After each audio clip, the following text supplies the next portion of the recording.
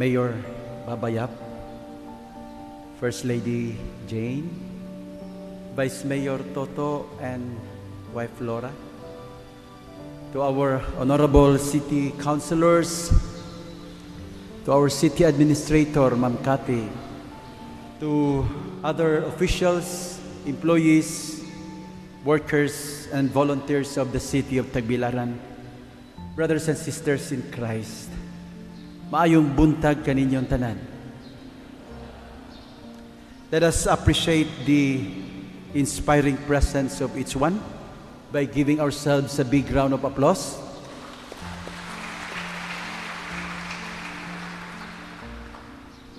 A spiritual guru once said, The measure of a man's greatness is not in the number of servants he has, but in the number of people he serves. It's good to ask ourselves this question To whom are we deeply inspired? To someone who has many servants or to one who is a servant of many? Kang kinsa man ta madasig sa tao nga daghan og sulugoon, daghan og katabang, o sa tao nga daghan og gitabangan. Labing siguro, ma-inspire ta sa tao nga maalagaron, kanang tao nga daghan o gitabangan, kanang tao nga matinabangon, kanang tao nga tinud-anay nga magserbisyo sa katawhan. Unsa manggod ang naa sa tao nga daghan og sulugoon? Unsa may naa sa tao nga bisan asa paingon, sundon sa katabang. Unsa may naa sa tao nga sugo dire, sugo didto. Wala. Ang maong tao, dato, gamhanan, pero dili siya makadasig. Dili maka-inspire. Dili makapausab og kinabuhi.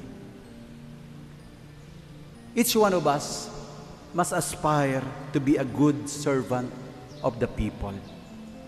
As an old saying goes, only a life lived in the service of others is worth living. Jesus himself said it clearly. Even the Son of Man came not to be served, but to serve and to give his life as a ransom for many. For Jesus, the meaning and the purpose of life is to serve God and to do good for others. Pero, mga igsuon, pila raman nato ang adunay kasing-kasing o gugma sa pagpangalagad. In today's gospel, from the Gospel of St. Matthew, chapter 20, verses 17 to 28.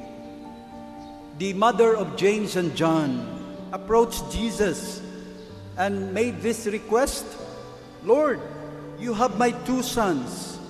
Grant that they may sit in your kingdom, one at your right and the other at your left.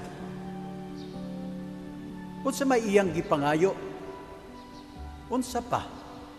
Posisyon habog na estado o gahom para sa iyang mga anak.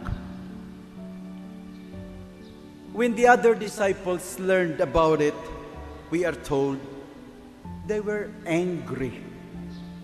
Not because they understood the Christian ideal, but because they themselves also wanted a place of honor in the kingdom.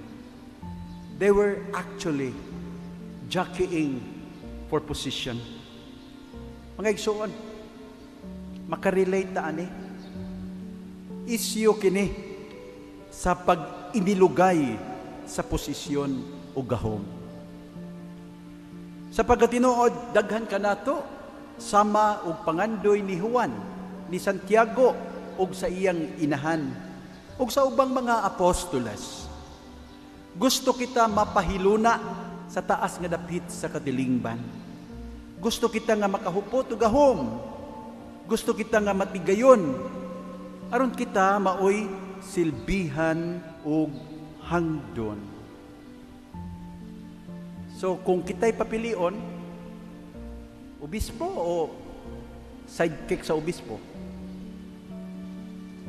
Tingani kung naimangutana, kinsa kahay mas dako sa langit, no? Si Bishop Abet o si Father Ado?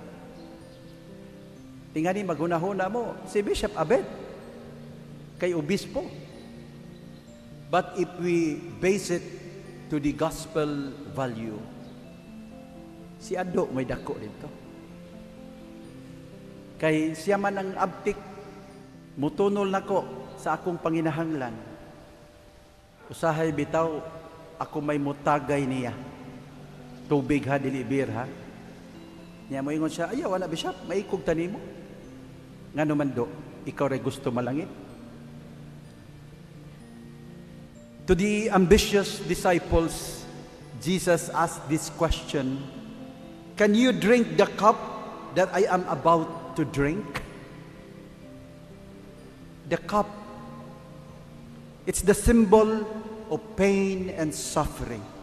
Anyone who wishes to follow the footsteps of Jesus must be willing to sacrifice his life for others. And so Jesus admonished the disciples by saying, Whoever wants to be great in your community, let him minister to the community. If you want to be the, the first of all, make yourself the servant of all. Nasa ato pa, ang labing dako sa mga mata sa Diyos, mao kadtong makamaong magserbisyo ug maghunahuna sa kaayuhan sa uban. Dili ni sayon, you know it. Kitang tanan, we know it. It's not easy. Because many, if not all, would like to serve personal interest. Busa hangiyon gyud nato ang Ginoo diya sa pagampo. Iya kitang tabangan unta nga makahupot nining talagsaong hiyas sa pagkamaalagaron. Today, my dear friends, we are launching our Saulog festivities 2022, which will culminate on May 1st, the fiesta of our patron, Saint Joseph the Worker. What makes any celebration successful? Money? Yes. Resources? Yes. Manpower? Yes. Talent? Yes. But even if we have all this money, resources, time, manpower, talent, if we have no people who are willing to serve, we can have only little success. Ako magampo, mga igsoon, ug manghinaot nga matag usa nato mahisama kang Senior San Jose. Hilom apan puno sa kamaalagaron. Maguol ta usahay tungod kay daghan kayong tao karon nga saba kaayo pero gamay lang ug wa gani gihimo. Sad. Sad because we need people who are good servants. We have more than enough good speakers, but not enough good servants. Mga igsuon, atong himuong modelo ang buutang sulugoon ug ama-ama ni Jesus, si Senior San Jose. And we always remember the saying, the measure of a man's greatness is not the number of servants he has, but the number of people he serves. Viva, Senior San Jose!